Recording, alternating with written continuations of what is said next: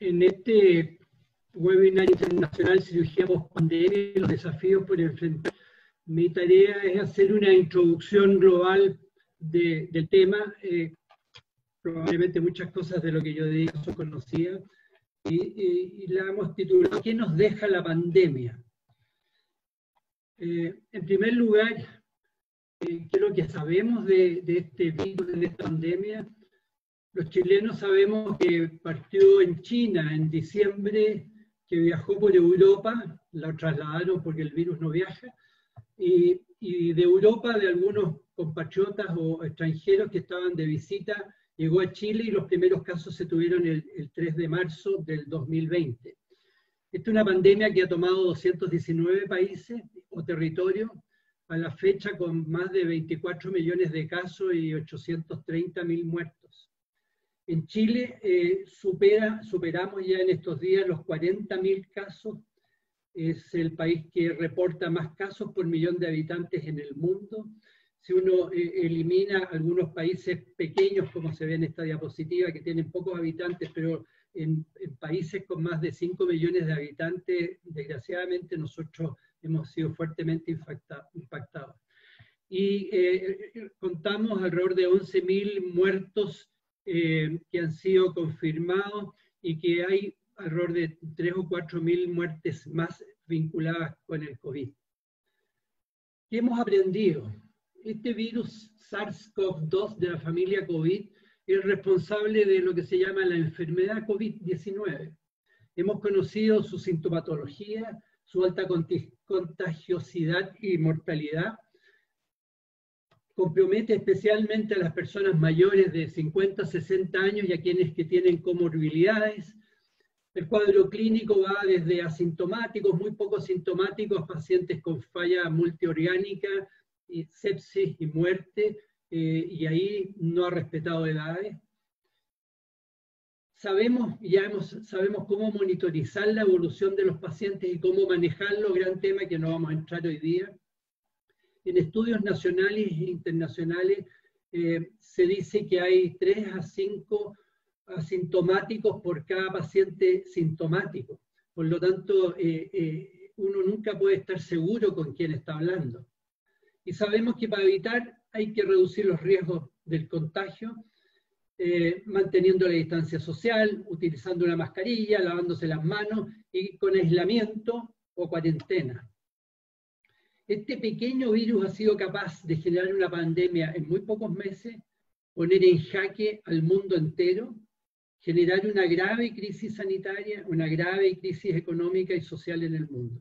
Y estamos a la espera de una vacuna efectiva que es aparentemente la única manera de volver a una normalidad que probablemente nunca va a ser igual a la que tuvimos.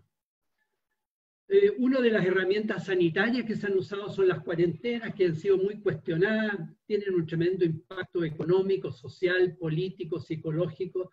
Hay países como Suecia que cuestionaron y otros más, sin embargo han pagado muy duro, eh, con eh, muchas muertes, con muchos pacientes enfermos y con muchos adultos mayores que murieron. Y hay bastante literatura que, que discute el valor o no el valor de esto. En nuestro país hemos tenido comunas con más de tres o cuatro meses de cuarentena. Cuarentena no siempre bien llevada con algunas personas muy liberales que no, han cumplido las reglas y que lleva al mundo médico a veces a reflexionar de qué nos ha servido tanta esfuerzo, esfuerzo si es que no hay conciencia en la población a pesar de todos los mensajes. En nuestro medio, por distintas razones, eh, las cuarentenas no han sido llevadas al cabo como, como se quisiera. También ha sido un tema muy polémico eh, con la prensa, distinguidos eh, académicos y profesores en la medicina reclamando también por el confinamiento que han tenido los mayores de 75 años. En la esfera social ha generado cambios sociales y culturales. Se ha hecho muy evidente las diferencias socioeconómicas que son conocidas, pero que no teníamos suficientemente asumido. La vulnerabilidad de algunos grupos que no tienen protección sanitaria, que son, tienen informalidad laboral, informalidad previsional y que estar cuatro meses ausentes de su vida eh, laboral y activa ha sido un tremendo drama. El valor que ha tenido la, la complementación sanitaria público-privada en un sistema como el nuestro que tiene falencias crónicas. El sistema de salud en Chile eh, ha resistido muy bien eh, y podemos ver cómo esta integración eh, del mundo privado con el mundo público, el mundo privado se supone que atiende al 20% de la población, 25% de la población, pero hizo un tremendo aporte en camas, camas intensivas, como vemos en este gráfico, que permitieron y se potenciaron igual como en el mundo público. En nuestro país a nadie le faltó una cama, a nadie le faltó un respirador. Siempre hubo eh, un tremendo esfuerzo a través de los servicios de urgencia, de las salas de posoperado y los pabellones, de tener la capacidad, y eh, Chile, uno de los temas que se hablaba mucho y la prensa insistía mucho, y cómo vamos a ser en la última cama, y cómo va a ser el, el último paciente, eso no existió. Conocimos las limitaciones del Estado en su organización, y en el rol subsidiario en una crisis como esta. La fragilidad que tiene la red social y también eh, la fragilidad del ser humano. Aparecieron los medios, el, miedo al enfermar, el síndrome de la cabaña y estos funerales en solitario que van en contra de toda nuestra cultura. El peso de las redes sociales y los medios de comunicación con, con sus grandes defectos y algunos, algunas bondades también. El efecto de la crisis en las personas, mostrando grandes virtudes o grandes defectos humanos, la aparición de héroes y villanos, la capacidad para adaptarse a la crisis y notable cómo se multiplican los expertos, los epidemiólogos, los opinólogos, los negacionistas, las teorías conspirativas, los oportunistas, como en todas las grandes crisis. Eh, las redes sociales han tenido eh, aportes muy interesantes, pero también han hecho daño y fundamentalmente la experiencia y la vivencia individual y familiar en una crisis. El impacto económico laboral en Chile eh, ha sido muy fuerte, una caída del PIB de un 14%, lo peor que nos ha pasado desde el año 86, ha caído el consumo, hay sectores muy afectados. En lo laboral eh, tenemos una tasa de cesantía que normalmente es del 7%, vamos en un 27% de nuestra fuerza laboral, con más de 2,5 millones de desempleados. En el teletrabajo hemos aprendido algo nuevo y cómo eh, se puede trabajar desde la casa, una actividad que quedó y llegó, pero que impacta también en las labores domésticas, en el déficit de Internet. Y en el sector sanitario hemos visto en lo laboral una gran mística, trabajo en equipo, jornadas agotadoras, 10% de los trabajadores enfermaron y tenemos los mártires médicos, enfermeras, administrativos, auxiliares, eh, que suman, con una gran resiliencia.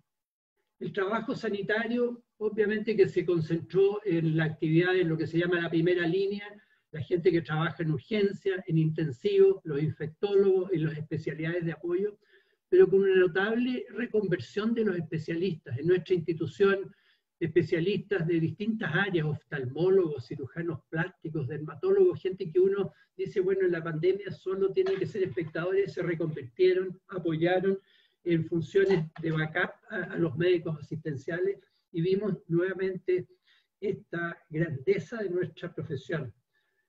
Algo que emergió muy fuerte es la telemedicina, que por muchos años intentamos desarrollarla en Chile. Hasta marzo del 2020 había 133 consultas mensuales por telemedicina y a julio se reportaron 30.000 y a la fecha eh, se, han hecho 130.000 consultas por telemedicina, bastante resolutivas, con posibilidad de licencias médicas, con ventajas y debilidades, pero este es un mundo que se va a desarrollar y es un efecto positivo de la pandemia. Y llegando a nuestra área, la cirugía, la mantención de la mantención de la cirugía en lo mínimo, que fue la urgencia, con elementos de protección personal que nos han cambiado las rutinas y con todos los controles de riesgo de COVID. El, doctor eh, Berrío nos va a hablar de esto y también el doctor Gonzalo Wittmayer nos va a contar cómo ha sido nuestra experiencia. Mantuvimos activo la oncología y los, y, los cuadros eh, que tenían riesgos no postergables y también hicimos, hicimos trasplantes de órganos. Hay mucha literatura que nos habló de los riesgos desde un comienzo. En marzo ya sabíamos de, de algunas eh, trabajos, aquí cito algunos, y después fueron apareciendo evidencias que, que ensombrecían el, el, pronóstico de pacientes que se infectaran en el postoperatorio. Sin embargo, no hemos tenido una experiencia categórica al respecto y ha sido un tema eh, cuestionado, pero que finalmente por la falta de camas y pabellones no había otra opción que postergar la cirugía electiva. Esto ha generado una nueva ola de mortalidad a causa de la pandemia, el impacto sanitario en los pacientes no COVID, que es un tema que nos preocupa. La morbilidad por la falta oportuna en patologías crónicas, eh, llamada como segunda pandemia. Datos de la clínica alemana, eh, el control de diabéticos cayó a la mitad, a lo, igualmente los hipertensos, se hicieron 60% menos mamografías y papanicolaos que antes, igual antígeno prostático específico. La Asociación de Clínicas que reúne a, la mayoría de los prestadores privados también eh, eh, expresa una caída de un 50% de los diagnósticos oncológicos y un 80% de los exámenes relacionados. Otras organizaciones también eh, refuerzan esto mismo y hay caída muy importante en el diagnóstico y en tratamiento de los cánceres. La educación médica también ha sido un efecto, esto fue muy eh, eh, discutido adecuadamente en un seminario en que participó el presidente de la Sociedad de Cirujanos de Chile, Carlos García, y el del American College, Ricardo Espinosa, eh, en el impacto que ha tenido sobre la educación media de pregrado, con las limitaciones en las actividades asistenciales, los, los, alumnos tuvieron que desaparecer de los hospitales y se fomentó la teleeducación, y en el posgrado la dificultad de los residentes y la inquietud de los residentes por las actividades que ellos hacen, los cirujanos aprendemos haciendo, la limitación de la presencia en los hospitales, pero se suplementó en algunos programas mejores que otros con actividades teóricas, casos clínicos virtuales, uso de simuladores y con los residentes actuando en forma voluntaria en otros, en otros rubros, que probablemente en todos los programas habrá que reevaluar prolongar la residencia por lo menos en tres o cuatro meses.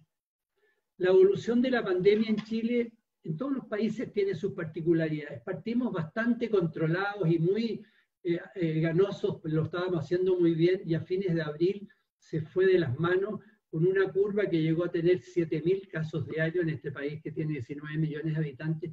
Y hemos observado una caída lenta y nos hemos ido que, eh, quedando pegados con un índice de, de, contagio alrededor de 1. Ustedes saben que con menos 1 decrece y con más de 1 crece. Y hemos estado entre 0,95 y, y 1,05 en una pandemia crónica que nos está pegando con más de, llegando eh, en el mejor de los casos, 70 casos por millón de habitantes. Uno debiera bajar de 40 a 30 por millón de habitantes para estar tranquilo. ¿Qué está pasando al día de hoy? Tenemos eh, se están informando alrededor de 1.700 casos, que son 91 por millón de habitantes ayer, 404.000 casos, como dije, probablemente por millón de habitantes somos uno de los países o el país que tiene más casos notificados. Siempre lo, lo, lo, avalamos que Chile tiene muy buen registro y se lleva muy bien, pero hemos tenido una enfermedad muy fuerte con eh, muchos, 2,3 millones de exámenes PCR hechos, eso nos da 120 mil PCR por millón de habitantes, que es una buena cifra, pero está dentro de las 30 eh, mejores del mundo, no, no, somos tan buenos en eso. Y tenemos 578 eh, fallecidos por millón de habitantes, que también es una tasa bastante alta. el actual porcentaje de positividad es de 6.4 de los exámenes PCR que se hacen en forma muy abundante. Más de la mitad de la población de la región metropolitana, que tiene 8 millones de habitantes, está saliendo estos días de, de, su confinamiento. Estamos a la espera de que llegue la vacuna en diciembre. Nuestros índices de intensivo, las camas se han ido despejando, quedan pacientes crónicos en, en soporte respiratorio COVID, pero las UCI se han ido alivianando, pero todavía no llegamos a nuestra capacidad que teníamos antes, que era muy baja, eh, eh, en la región metropolitana, en especial 430 camas que llegaron a, a ser 1.800 camas, con una baja ocupación en los hospitales, pero con muchos temores. Nuestra gran pregunta, y esa es la pregunta del seminario, ¿cuánto y cómo retomar la actividad quirúrgica? Cuáles son las pautas y los protocolos de atención a seguir. Y en eso solo una referencia como ex gobernador del American College, perdónenme los mensajes, el American College tiene muy buena información en su página web y les doy esa referencia sobre los protocolos de cuándo, cómo reiniciar las actividades. Y eh, para introducir al doctor Luis Grande, que viene a continuación, plantearle cuáles son nuestras nuestras expectativas, qué es lo que nos espera en los próximos meses. En esta curva que tenemos aquí, como informamos hace unos días, una semana apareció una comparación con España. Esta es la curva que ha tenido España y que eh, en agosto han tenido un rebrote. España es 2,5 veces más grande que nosotros en, en población y hemos tenido tasas parecidas de mortalidad. Nosotros hemos tenido más contagiados que ellos. Y en nuestro tema es cómo enfrentamos entonces los próximos meses.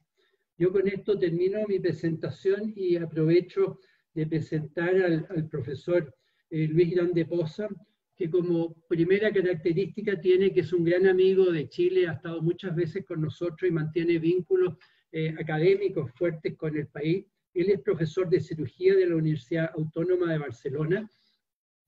Eh, tiene una gran trayectoria quirúrgica en la cirugía HPV y en los trasplantes de hígado. Eh, trabaja en el Hospital del Mar de Barcelona. Es eh, miembro de, muchas sociedades, entre ellas en la American Surgical Association y presidente del American College of Surgeons. Yo me voy a, bajar para poder eh, salir de aquí y de